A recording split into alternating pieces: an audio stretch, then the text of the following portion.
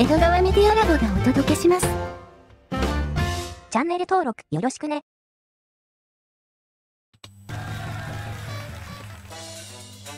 はいどうもご視聴ありがとうございます、えー今回もですね渓谷の小さなニュースの詰め合わせミニニュースいきたいと思いますはい、えー今日はですねミニニュース全部ですねイ・ジェミョンのお話になりますんで、えーこちら興味ある方ですねぜひ聞いていただければと思うんですけどもこちらあまず最初ですね昨日おー逮捕同意案が、えー可決されましたよというところでねいろんなことがあったらしいんですよはい。で、まあ一番興味があるのは、イ・ジェミョンはいつ捕まるのかというところ、まあそこしか興味ないって方も多いと思うんですけども、えーそれもね、えー後半で、えーちょっとお伝えしていきたいと思います。はい。まず最初ですね、可決された21日、えー、韓国野党代表の支持者、イ・ジェミョンの支持者ですね、逮捕同意案可決に、これが国か！と激しい暴言をね、えーわめいていたと。いう話題なんですけどちょっとさらっといきましょう。こちらでございます、えー逮捕同意案が可決されるとイ・ジェミョン代表の支持者は夜遅くまで国会前に残り激しい暴言を繰り返した。これが国か！スイカ！うんバツバツ。スイカを探しだけ出さなければならない！という怒号があちこちから聞こえた。スイカとは裏表のある政治家を意味する隠語で可決票を入れた民主党議員を狙った軽蔑的表現だということでね。中身は赤くて外身はあの緑。だからスイカかということでございます。はい。でね、えー雰囲気は国会本会議に開かれた午後から本格的に始まっていた。逮捕同意要請理由に対するハン・ドンフン法務部長官の説明が始まると支持者は過激な表現を使って否決を主張した。壇上に立ったアン・ジンゴル民生科学経済研究所長はハン・ドンフン長官を朝鮮一番県渓谷切手の検事と呼んでいたが事実はサイコパスだ。ユン・ソクヨル大統領とハン・ドンフン長官を弾劾しなければならないとし正義党が逮捕同意案の賛成に出れば許さないと声を高めたと。で、えー評決が始まると現場は焦燥感で満たされた、えー出席者は合唱して祈ったり目を閉じて考え込んだりしていた。でキム・ジンピョン、えー国会議長が、えーイ代表逮捕同意案が可決されたと発表すると彼らの緊張感は一瞬で怒りと悲しみに変わった。ねえーイ・ジェミョン代表を助けてと言いながら顔を覆っておえつする女性支持者も目についた。どうしたらこんなことができるのか。私が知っている民主党なのかと叫ぶ人もいたと、えー検察独裁政権検事ペケペケの野郎どもなど現政権に対する怒りもむき出しにしたと。ね。ええー国会に踏み込んで抗議しよう。検察に行って破壊してやろうなどの極端な発言を口にする一部出席者もいた。主催側は一時の挫折に過ぎず戦いで負けたわけではない。秩序のある喧嘩をしなければならない。いや喧嘩しちゃダメですからね。はい。えーとして制止したが興奮した。支持者たちはかえって主催側に対して「お前らがスイカだ!」と言って激しく抗議したと。全く言うことに聞かない。言葉が通じないというね、えーことでした。はい。でこの可決された瞬間にこうあれですよもうしょんぼりしていると。いうこれ国会議員ですね。渓谷の国会議員たちが、まあ、可決された瞬間にしょんぼりしていますっていう写真なんですね。はい。じゃあ次いきます。はい、えーこちらなんですけどもで結局ねまあじゃあ民主党渓谷の野党はどうすりゃいいのかというところですね。こちら一つ社説がありましたのでご紹介していきたいと思います。民主党が生きる道は一つしかないと。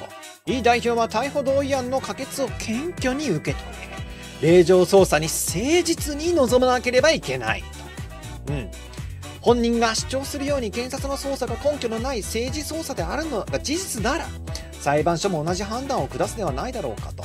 反面令状が発布されれば民主党は裁判所の判断を尊重しリーダーシップ革新と再整備に入るべきだろう。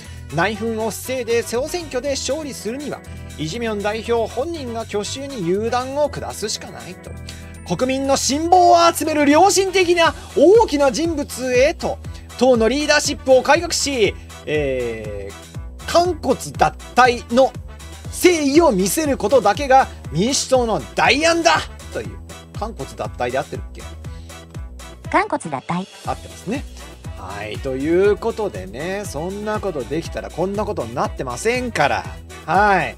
えーでですね、じゃあまあいいよ、早くしろよと。早くしろと。えね、いつ捕まるんだと。言ったところをですね、ちょっと見ていきたいと思います。はい。あ、その前にですね、なんかね、テロ予告があったんですって。21日夜、同党の一部の国会議員を名指ししたテロ予告といえる投稿がインターネット上で見つかったと。検察はイ・ジェミョン代表の支持者が逮捕同意案に賛成票を投じたと思われる党内の非イ・ジェミョン派を狙って投稿したとみて捜査を乗り出したと。で、なんて書いたかと。ライフルを用意しないとと。ライフルを用意しない、準備しないと。などとする投稿があったことが明らかにしたと。これら14人、14人の名前を挙げたんですって。14人の議員は党内で非イ・ジェミョン派とみなされているということでね。もう暴徒化ですよ、暴徒化。ああ。はい、じゃあね、えーこちら早速ね、えー、警国野党代表の逮捕状審査26日に実施ということでね、審査が予定通り行われれば、イ・ジミョン氏が逮捕されるかどうかは26日夜か27日未明に決まる可能性が高いと。いうことで、で、えーこのね、令状を発行するかどうかの審査があるんですよ。で、その審査の段階でもう拘束されるんですけれども、まあそんな感じでね、はい。ただですね、26か27はもう来週の火曜日か水曜日ですから、ね、もうすぐですよ。ところが、しかし、しかし、えー、しかしですね、健康状態が鍵だということで、おいおいおい、待てよ待てよと。うん。ハンストによる健康状態悪化と窒息、連休があるため不透明な部分も残ると。裁判所関係者らは、えーひとまず窒息、連休前に、えー審査期日を定め、さっきの26か27ですね。イ・ジェミョン代表側から要請があれば審査を窒息連休後に先送りする可能性もあるということで、で、窒息連休後っていうのは10月3日以降です。はい。イ・ジェミョン代表が健康上の困難を訴えれば救急ベッドで横たわった状態または車椅子に座ったままでも審査を受けることができるとで、まあ、過去にもそういうことがああの前例がありますと。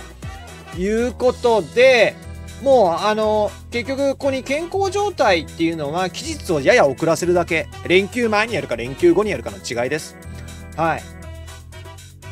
だから結局どんなに仮病を使ってたとしてもねベッドで連れてこられるってことですよ。はい。まあ遅くても10月3日ぐらいにはもうわかるよと。いう感じですね。楽しみですね。で担当判事の前で審査を受けた後結果が出るまで、えーイ・ジェミョン代表はソウル拘置所で待機しなければならないと。いうことでね。もうだから捕まったも同然ですよ。はい。ねえーで逮捕状請求を棄却すればイ・ジェミョン代表は直ちに釈放されると。さっきの拘置所からですね。逆に逮捕状が交付すればイ・ジェミョン代表は拘置所に収監されると検察段階では20日間の勾留が可能、えー以後起訴されれば一審の審理審理中に計6ヶ月の勾留が続く可能性もあるということねもうぶち込んどけということでございますはいえー、ちょっとね楽しみですねえーじゃあですね、皆さんはいかがお考えになりましたでしょうかこれで終わりにしたいと思います。ご視聴ありがとうございました。チャンネル登録、評価、ぜひぜひよろしくお願いいたします。それでは、また。